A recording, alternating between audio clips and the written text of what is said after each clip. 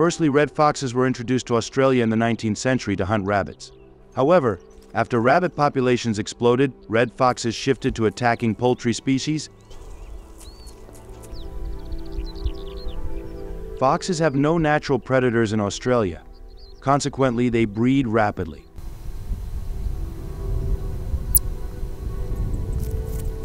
A single red fox can produce 4 to 10 offspring per year. The proliferation of the red fox population poses a challenging scenario for Australian farmers and alters the ecosystem.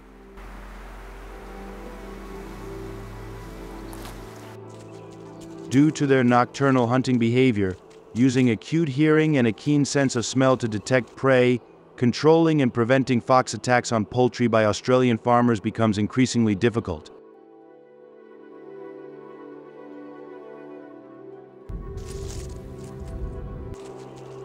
The poultry farming industry, facing losses of 50 to 100 million USD, confronts a dual challenge, not only reducing profits but also threatening economic stability.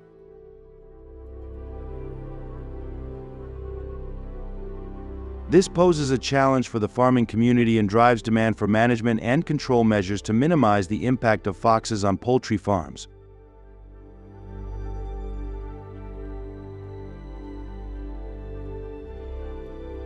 Australian farmers employ tactics like installing barbed wire fences and constructing modern farm enclosures. However, the effectiveness and ethicality of these measures remain contentious.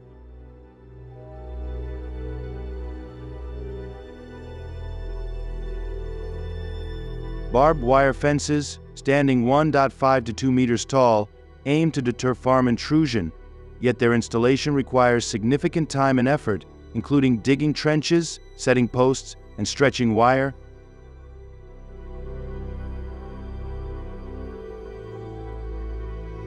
While reducing fox intrusions, it may also pose risks to other wildlife species.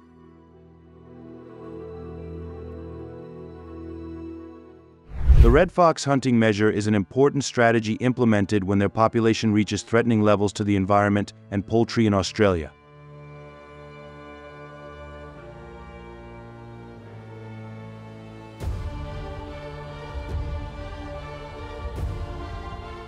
Here is an overview of how the hunting process is conducted and assessed by the community.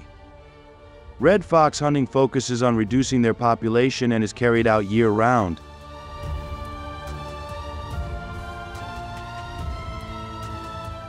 However, there are specific regulations in each state. In Queensland, hunting is only allowed from May to August.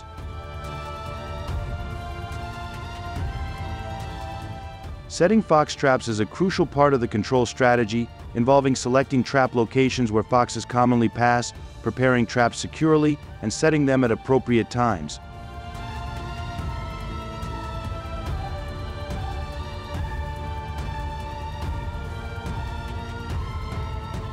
Red fox hunting is a common practice in Australia, especially in agricultural areas where foxes can harm poultry.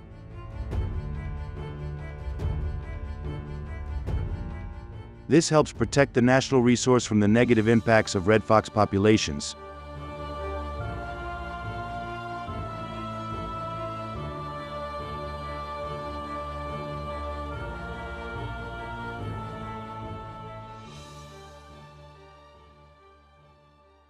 red fox is considered an invasive species detrimental to the Australian ecosystem. Hunting is deemed an effective measure to control fox populations and protect native wildlife.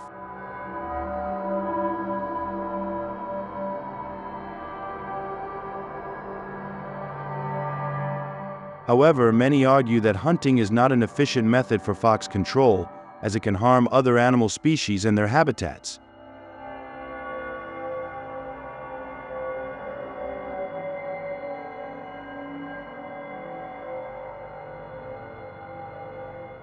the Australian government is striving to find a balance between environmental conservation and ethical considerations regarding fox hunting.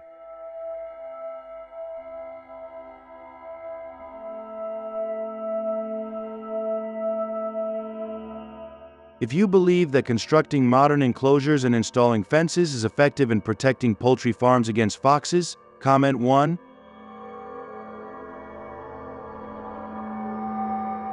If you agree with hunting and trapping foxes, comment zero, like and subscribe for more upcoming videos.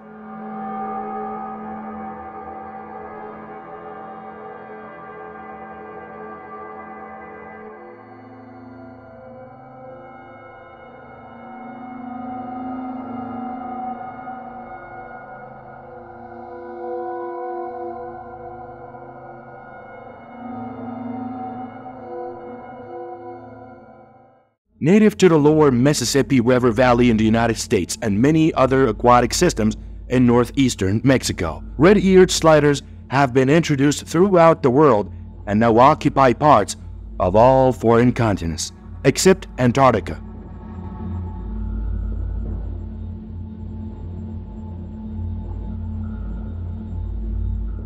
Many are released as unwanted pets after the colorful turtles outgrow their homes are released as part of traditional religious traditions.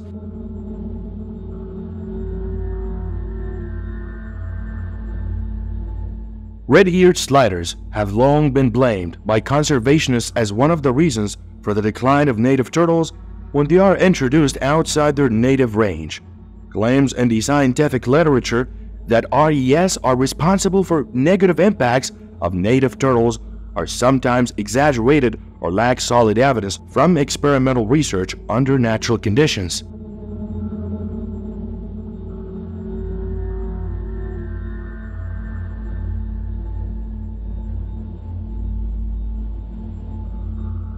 The rapid proliferation of red-eared sliders worldwide earned the species a place on the global database's list of the 100 worst invasive species in 2000.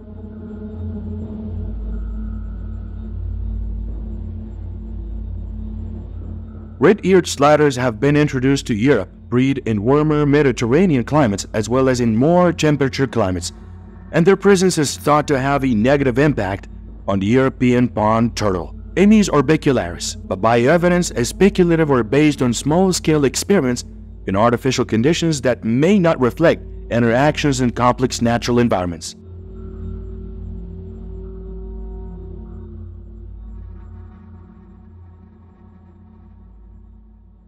Wetlands altered and degraded by human activity are turtle rather than the exception globally, providing new habitats that can challenge native species, including turtles.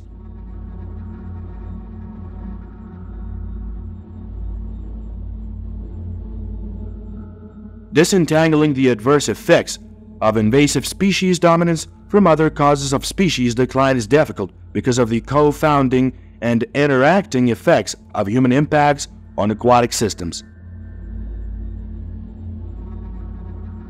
As omnivores and habitat generalists, red-eared sliders appears to be well adapted to benefit from these changes and often dominate the deregarded urban environments where they are introduced.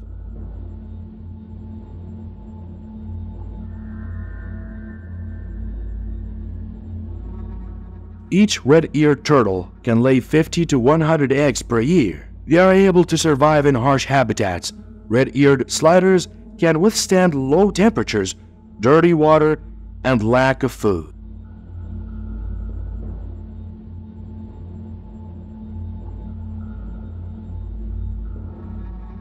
Under the Endangered Species Act ECA, recognized as dangerous invasive species, this implies that the sale, position, and release of red-eared sliders into the wild are federally prohibited.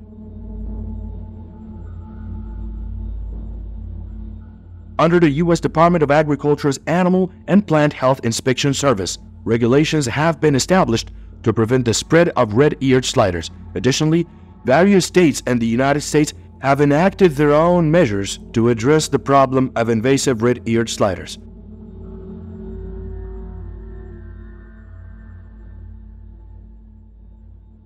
Many people have enforced laws prohibiting keeping red-eared turtles as pets.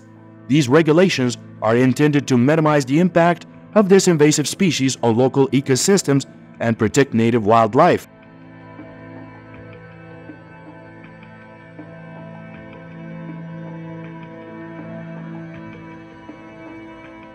It is important that individuals are aware of and comply with these regulations to prevent the unintended spread of red-eared slider turtles.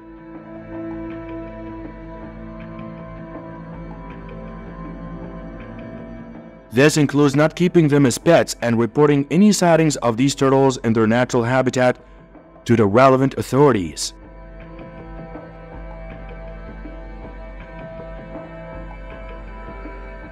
Injecting birth control drugs for red-eared turtles is a non-invasive birth control method used to prevent the laying of eggs in this species of turtle.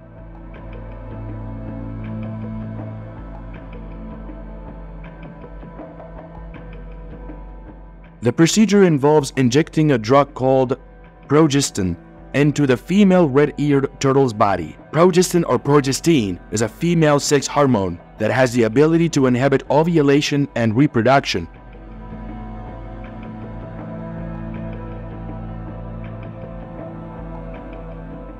Using nets to capture invasive red-eared turtles is a popular solution for controlling this species population. This method is often deployed using large nets to capture red-eared turtles when they operate in coastal areas.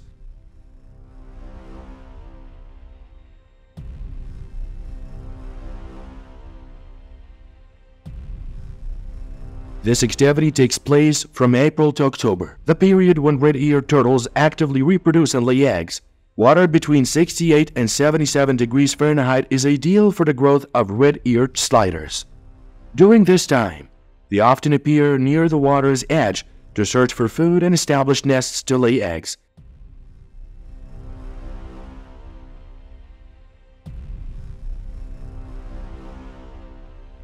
Net rackets are typically constructed from nylon mesh, measuring about 6.6 feet in length and about 9.8 feet in width. The nets are then dropped into the water and moved along the banks of rivers, lakes, and ponds to capture red-eared turtles.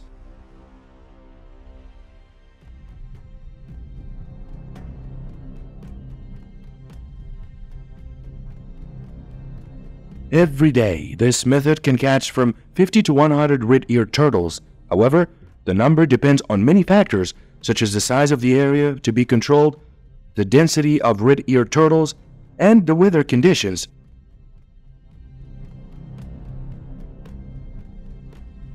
According to research using nets to catch invasive red-eared turtles, it can reduce the species by about 20 to 30 percent each year.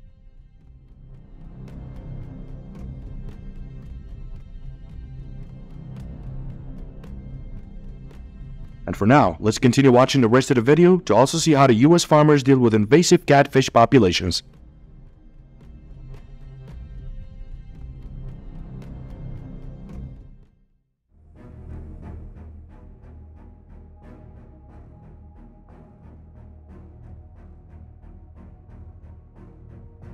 The red fox, an animal native to Europe, was introduced to Florida in the early 20th century. However, in recent years, the number of red foxes in Florida has increased significantly, with an estimated number of 1.5 million red foxes living in this state. This has created serious challenges for the farming community and the livestock and poultry farmers. One of the main problems caused by red foxes is damaging to the livestock and poultry.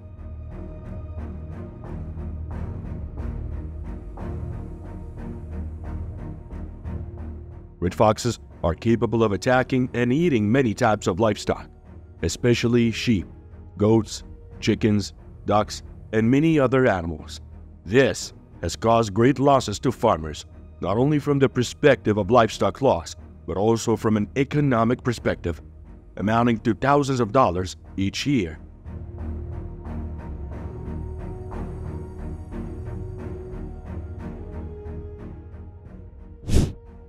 In 2022, a farmer in Florida faced the loss of 20 sheep due to the red fox attack. This attack not only created a loss of livestock, but also caused a sense of fear and insecurity in the farming community.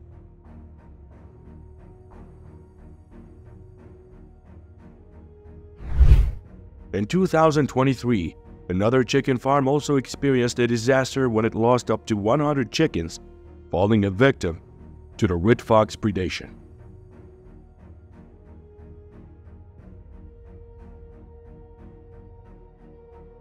but also affects the livestock industry and the local economy. Therefore, control measures such as daytime hunting of red foxes have become a necessary solution to mitigate the negative effects of the sudden increase in the red fox populations in Florida.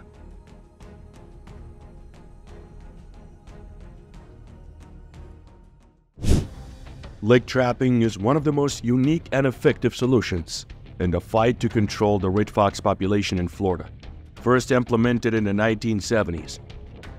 This method not only reduces red fox numbers, but also brings many benefits to both farms and the environment in which they operate.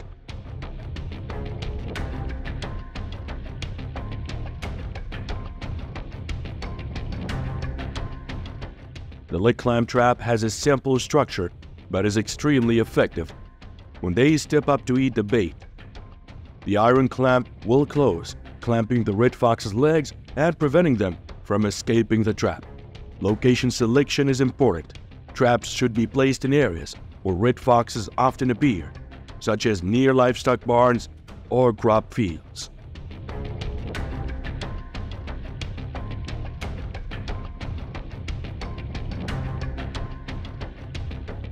Traps needs to be carefully tested to ensure robust and reliable operations. Hiding the trap by covering it with leaves or dry grass helps keeping the trap undetected by red fox.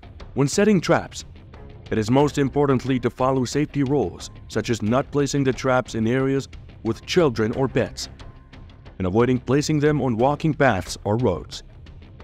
Traps also needs to be checked regularly to ensure that only red foxes are caught and that non-targeted animals are not injured in that process.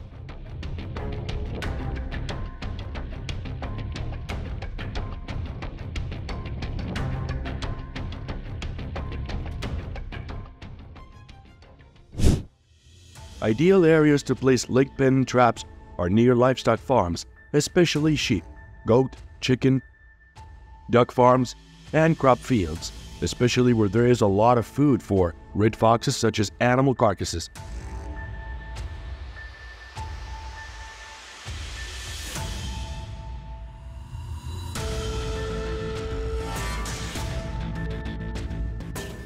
Red fox spot trapping has been implemented in Florida since the 1970s and has brought significant positive results. Each year, about 200,000 red foxes are caught in lake traps, significantly reducing the red fox population.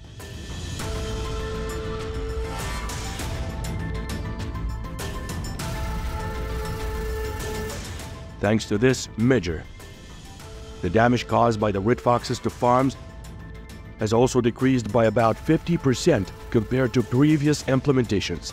However, like all solutions, the food trap method cannot avoid limitations. It can cause pain and injuries to red foxes catch non-target animals as well, and can pollute the environment sometimes.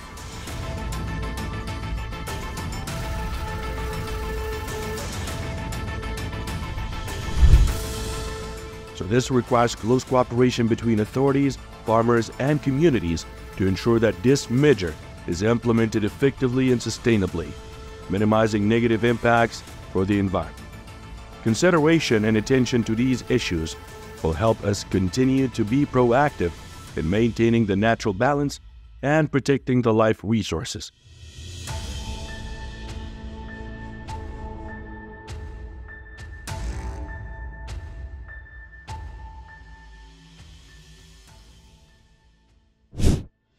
Florida, where red foxes are becoming a threat to farmers and the environment, has implemented an aggressive control measure by hunting red foxes during the day. This method is not only a popular and effective solution, but for many locals, it is the salvation of concerns about the red fox damage.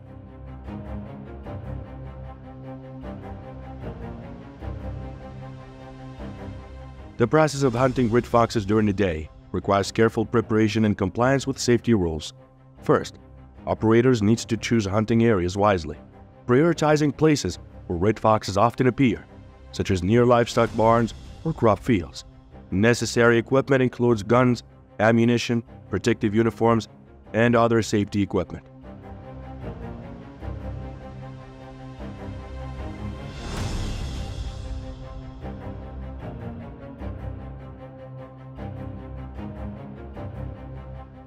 Searching for red foxes plays an important role in the hunting process. Using a telescope or binoculars helps hunters identify red foxes from far, which increases the likelihood of hunting success.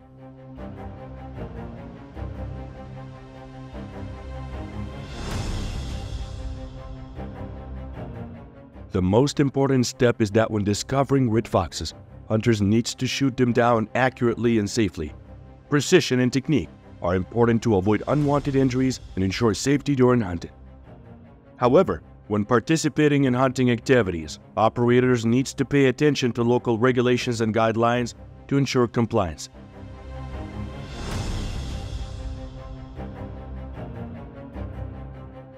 Using guns with appropriate power and shooting red foxes in a safe location is also an important factor in reducing risks to the community and the surrounding environment.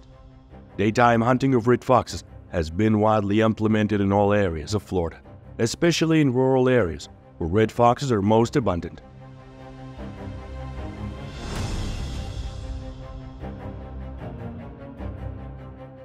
According to estimates, every year about 100,000 red foxes are shot down, significantly reducing the red fox population. Although this measure is effective, it is also important to be aware of its disadvantages.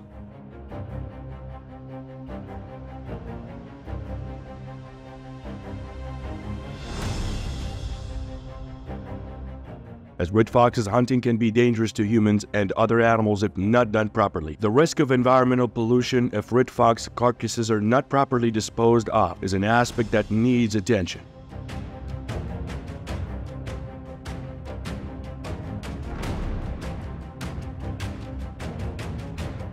Therefore, Cooperation between authorities, farmers, and communities is important to ensure that the hunting is carried out safely, effectively, and sustainably, while minimizing negative impacts on the environment, as this will help maintain the natural balance and protect agricultural resources in Florida.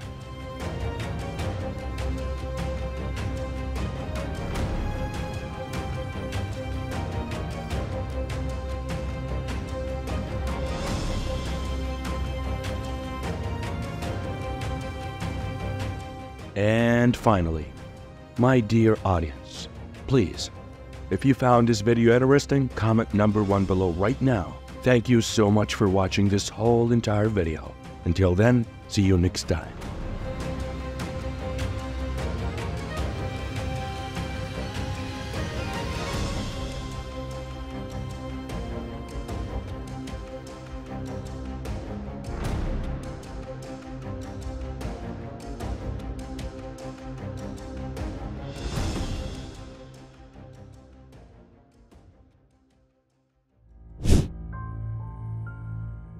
Australian culture is the first thing you will know. Australians may hold to the tradition of eating livestock and poultry, and accepting invasive fox meat may conflict with this teaching.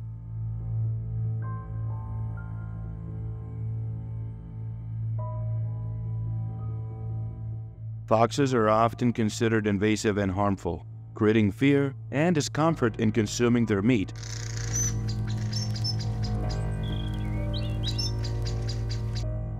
Health concerns also plays an important role in the Australians' decisions. Fox meat can carry dangerous pathogens such as rabies and helminths, increasing the risk of infection when processed and consumed improperly.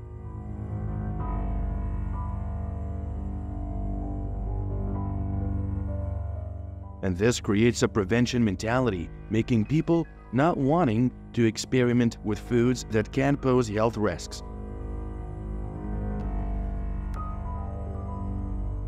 Foxes are considered intelligent and sentient animals. Adding to the growing discomfort that Australians face eating meat from an animal that can sense pain and fear. This creates a psychological rejection of fox meat consumption due to empathy and respect for the animal.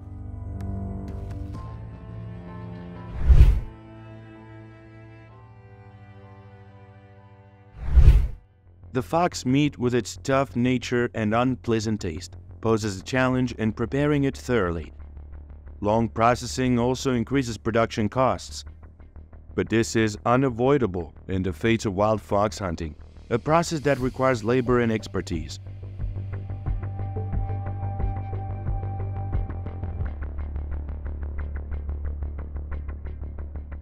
The high cost of transporting and preventing fox meat puts great pressure on prices. This poses a challenge for the consumer market, where many Australians do not favor fox meat due to cultural and taste reasons.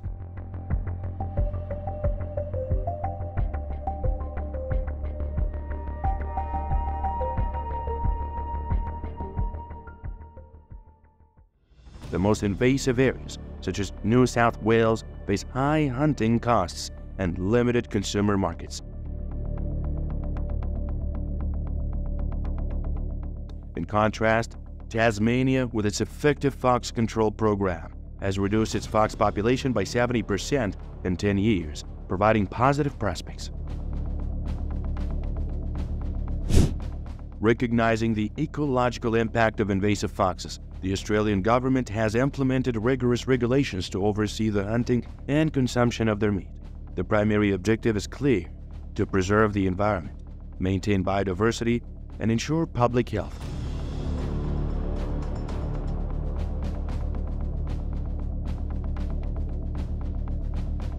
However, closer examination reveals a tapestry of legal intricacies. Farmers find themselves entangled in complex complicities when seeking specialized hunting licenses from local authorities. These licenses are granted only when farmers can substantiate the damage caused by foxes to their property or agricultural activities.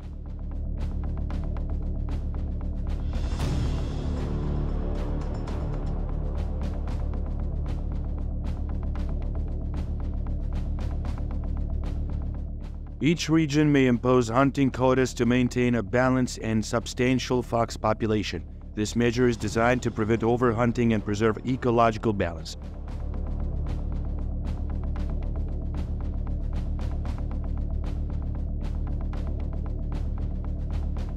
The Australian government explicitly prohibits the use of certain capture methods considered cruel or environmentally hazardous, such as metal traps and toxic substances. This places an added responsibility on hunters to adopt safe and sustainable capture methods.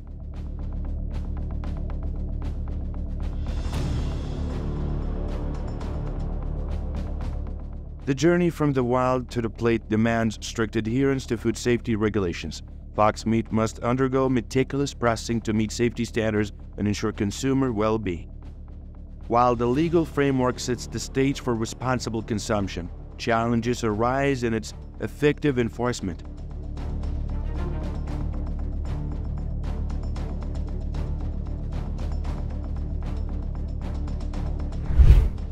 Farmers may encounter difficulties in gathering the necessary documentation and proved required for the hunting license application process. Local authorities may grapple with the shortage of manpower and resources, hindering their ability to monitor and inspect fox activities effectively.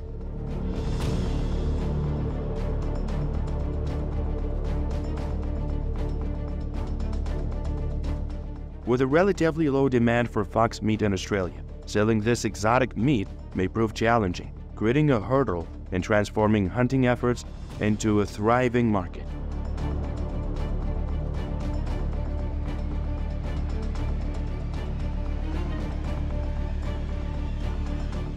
As we delve into the complexities of legal landscapes, potential solutions emerge to overcome these challenges. The Australian government could streamline and simplify the hunting license application process, making it more accessible for farmers. Investing in additional resources for local authorities will strengthen their ability to monitor and regulate fox hunting activities, ensuring compliance with legal standards.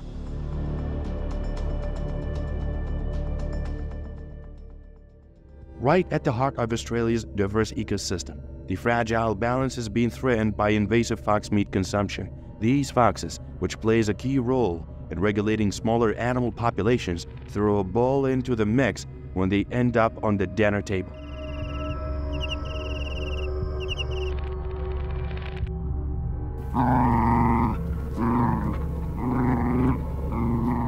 This raises some real questions about unintended consequences for the environment. Let's talk geographically. The implications of this ecological imbalance hits hard in areas where fox populations are exploding, especially in rural and wild areas where these cunning creatures thrive.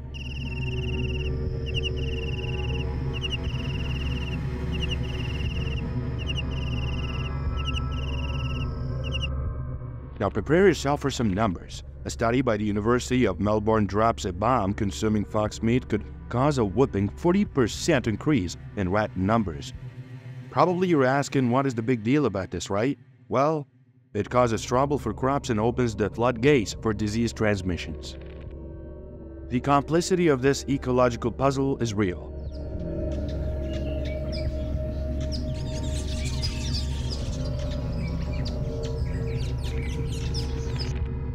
To navigate the murky waters of ecological impacts, we need more than just surface level understanding. It is time to roll up your sleeves and learn the geographic nuances and statistical evidence that underpin informed decision making.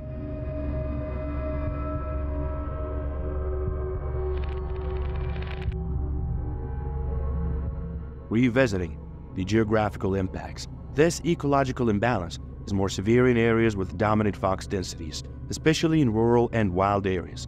Proposed solution Looking ahead, we need to increase research efforts to comprehensively assess the impacts of fox meat consumption in specific ecosystems.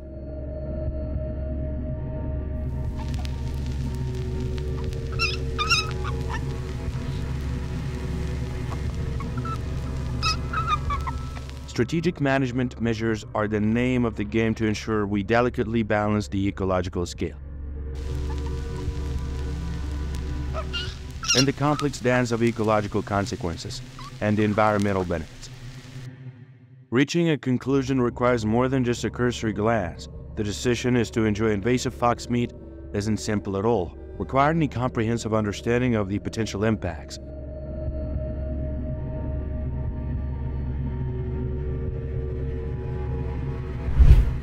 Fox invasions cost Australia more than $1 billion in economic losses each year. More than 20 native Australian animal species are in decline due to invasive foxes. Australia's budding fox meat industry produces around 100 tons per year. As we explore the ecological mystery of invasive fox meat consumption, it is important to stay up to date with the latest research and legal regulations.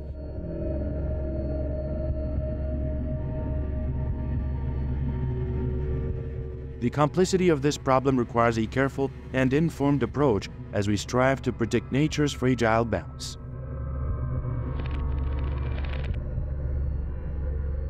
If you found this video interesting, leave a comment with number 5 down below in the comment section so you can let us know that you'd like to watch more of these series in the upcoming videos. Goose meat, although a popular traditional dish in some countries, in the United States, that is often not popular with the majority of people.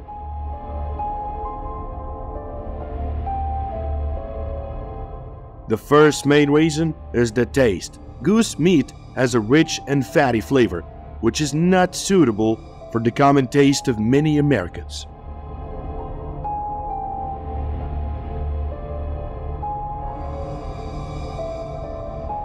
According to a survey by the American Poultry Association, only about 10% of Americans choose to eat goose meat.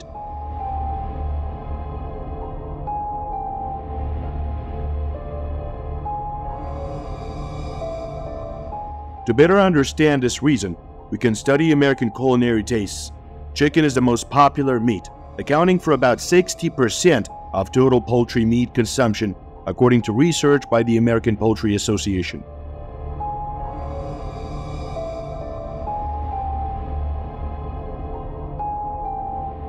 Pork and beef accounts for about 25% and 15% respectively.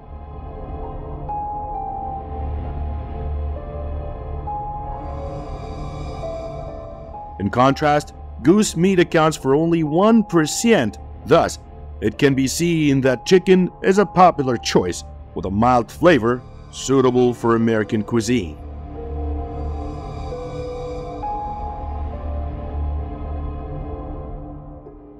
The second reason why goose meat is not popular in the US is cost. Goose meat has a high price, becoming a luxury dish.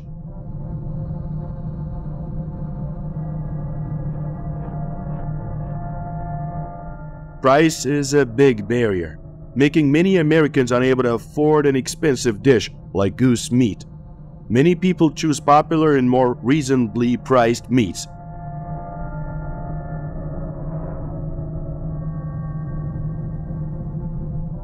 According to a survey by the American Poultry Association, the average price of goose meat in the US is about $20 per kilogram, much higher than chicken meat, about $4 per kilogram, and pork is literally $5 a kilogram.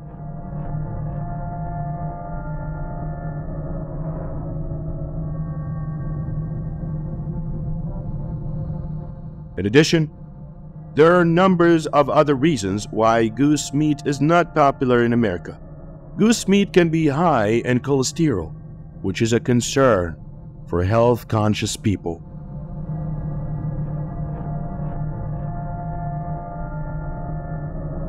At the same time, some people may have an allergic reaction to goose meat, creating an additional risk when ingested.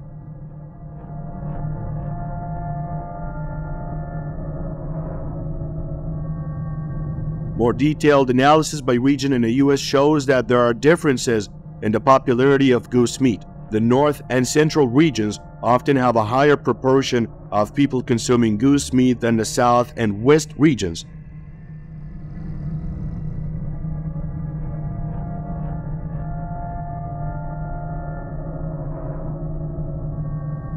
In the north, about 50% of people favor goose meat, while in the west, only about 5%